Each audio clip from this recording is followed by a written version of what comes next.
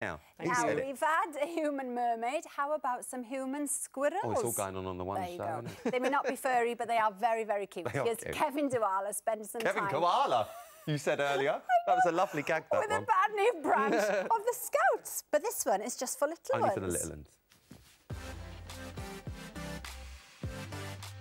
From camping to hiking and from canoeing to abseiling, almost half a million young people in the UK take part in scouting activities every week. I can still remember, I must have been eight or nine when I first joined the Scouts, and they taught me safely how to build my first fire with two bits of wood. Still got a special place in my heart, that memory. Until recently, you could only start scouting at the age of six as a beaver, moving on to cubs at the age of eight. But now there's a new animal in the Scouts Club the squirrels. It's the first time in more than 35 years that a new division has been launched and it caters for four and five year olds.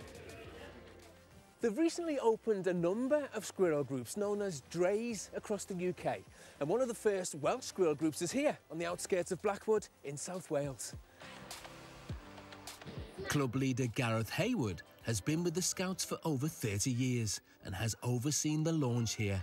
Why was it important for the Scouts to, to set up a division catering specifically for four to five year olds? Uh, there's a saying, you catch them at the start of their story, you affect the end of their story, and you're building, you, you've set that foundation in place for them to build on in future as, as they move through the, the sections of scouting.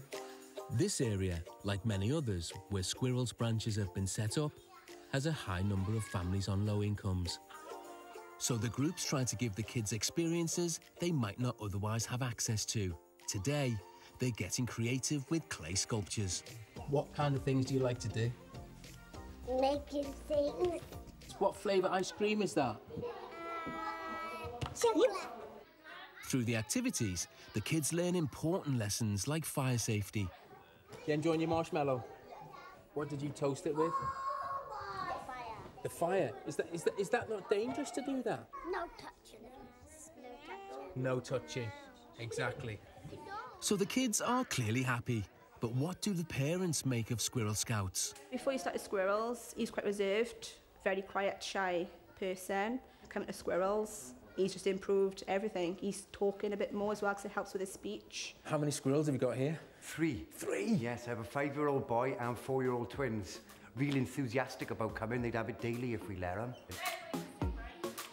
What every scout works towards is earning their badges, and these squirrels are about to get their first one the Feel Good Badge for learning about feelings and emotions.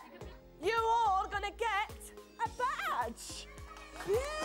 The scouting movement may have started over 110 years ago, but coming here today has shown that they've still got the ability to reinvent themselves and cater for families from all different backgrounds. And I hope these squirrels will get as much lifelong pleasure out of scouting as I did. Well, it's I will be. I'll be signing Ted. I was yeah. going to say, that's it, gone.